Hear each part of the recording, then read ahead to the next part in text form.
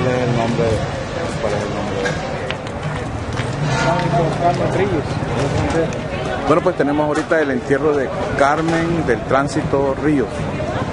Eh, hoy lo vamos a enterrar. Vamos a enterrar a esta señora que murió ya bien joven, ¿sabes? Es del barrio del Calvario.